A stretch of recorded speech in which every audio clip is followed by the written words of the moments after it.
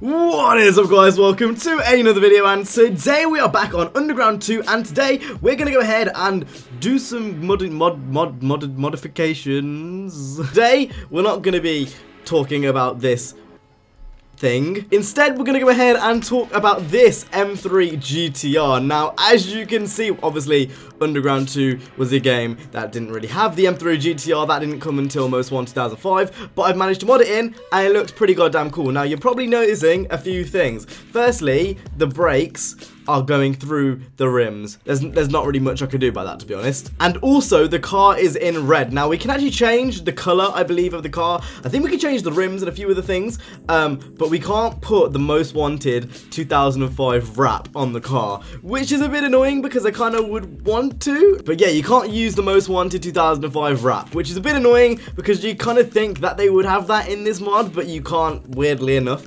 Um, so I'm just going to go ahead and have it in this white color. I think white looks pretty goddamn nice and it also kind of hides the brake calipers which again looks really really weird now in terms of this car and what it actually replaces for some reason you wouldn't guess this like at all but it replaces a Hyundai Tiburon GT so like the Hyundai Coupe that is probably possibly the oddest car to replace and one thing you'll notice when we're actually in game with the car is it doesn't really sound like the most 1005 counterpart it kind of sounds like its real life version um, so wherever this has been taken from I'm assuming it's not been taken from most wanted, um, they've actually used like the real life most one, uh, the real life M3 GTR sounds, which I think is really really cool. Now I've already fully upgraded it and I've already done all that stuff. So what we're gonna go ahead and do is we're gonna go into free run. We're gonna go ahead and test it out and then obviously take it onto the track afterwards to see how it performs there. So without further ado, let's go ahead and go straight into the open world. Lick, lick, lick, I lick. I wanna eat your Okay, so we're out here in the open world, and I kind of want to show you guys what I mean by the sounds. Now,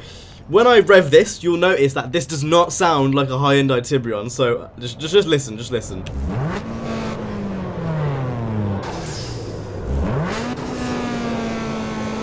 That sounds like an F1 car. That sounds like nothing I've heard in this game, full stop. That is actually ridiculous. You'll also notice that the interior, you can't really see it properly at this angle. You can kind of see into it, but it's, it's like a fully modeled interior. So I kind of want to see if I can get that working in a future video and maybe do a cockpit mod. That would be really, really cool.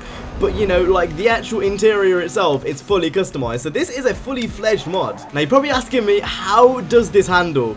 Well, to put it in plain terms, nothing like it does in Most Wanted 2005. Now, obviously, I, I, like to think Underground 2 is quite different in terms of its handling physics. It's a lot less kind of grippy, I guess. It's a lot more slidey, and you can definitely tell it's not as gripped as it is in Most Wanted 2005 for obvious reason. You know, the whole the whole physics are just different. I'm not sure if it's going to be as OP as the other cars are, because again, it's still not oversteering, which is a weird thing. A lot of the cars in Underground 2, if you put them in certain, certain situations, they would oversteer. These don't really oversteer. Oh, this car doesn't really oversteer. So it'll be really interesting to see if it's actually OP. But the first thing I want to do before we go ahead and obviously race this car is I want to see how it drifts on a drift track. So we're going to go ahead and take it drifting and see what the M3 GTR like. GTR like? We're going to go ahead and see what the M3 GTR is like on a drift track. So let's go ahead and get this sideways. Now we're just here in this race. I've noticed that literally all the cars are modded. We've got another M3 GTR, we've got a Porsche and an R32. Um, oh shit! So no, we're not we're not doing anything ridiculous. We're just doing a simple figure eight track or whatever this is. Um, I just kind of want to see what it's like. Again, I don't want to do anything too ridiculous because it kind of I want to spend most of my time in this video racing. I've got to say immediately, uh, it's gripping up oddly. Like, it's still gripping up even though it's in, like, drift physics. This is weird. Yeah, this is really weird. This is very weird. It's not like a normal drift car in Need for Speed, like Underground 2. It's like, it's like it's, it wants to grip up, kind of like it's you can tell it's supposed to be a track car. This isn't this isn't normal. You can also tell by the oh my god, I've span out. I've span out. I've legit just span out. Right, enough of that. Let's go ahead and get this on the track. Obviously, I'm not very good at drifting on this game. I think that much has been has been established. I think what we're gonna go ahead and do is we're gonna go ahead and do a sprint race and we'll make it a really, really long one from the top of the map to the bottom of the map. I think that makes the most sense. So I'm gonna go ahead, find a race, set it all up, and I'll be there at the end in, in, the, in the race. In, in, the, in the race. Okay, so here we go in the race again with a bunch of modded cars. I'm pretty sure like most of the cars in Underground 2 at this point, like for me, are modded. um, just purely based on the fact of all these videos. Like I don't really uninstall them, I just kind of just keep them there.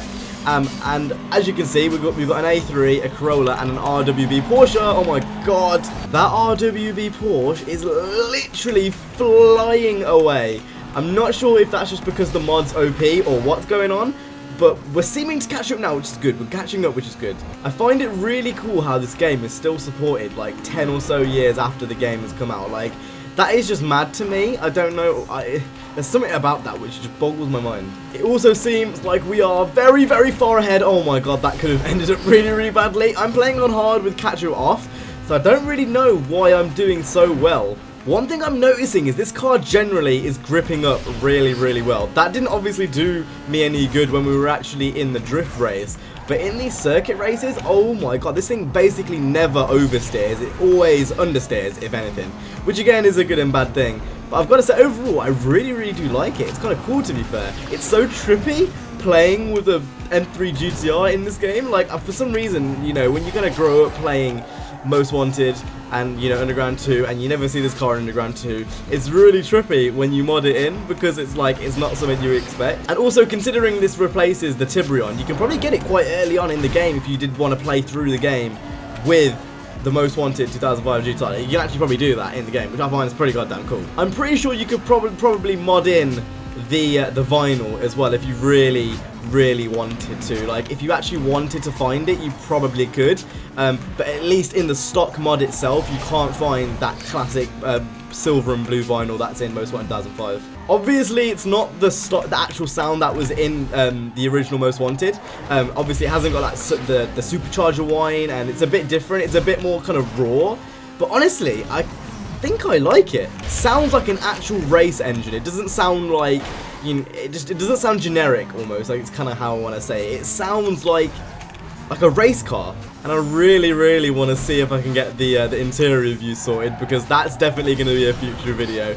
I think that would be really, really cool to play this game in first person. But anyway, with that being said, we've just crossed the line. Overall, I really do like this mod. Honestly, if you're going to play through Underground 2 again, I definitely recommend you to go download this mod and use it at some point in, you know, the the let's the, the walkthrough that you use. Because honestly, it's really that good. The mod is really well made, the sounds are really good, and honestly, yeah, it's just a blast. So the link will be down in the description if you want to go ahead and download it for yourself. But that's been it from me today. I hope you guys enjoyed this video. If you did, make sure to go ahead and hit the like, subscribe. I will see you guys in the next one. You guys have an awesome, stay safe, and peace.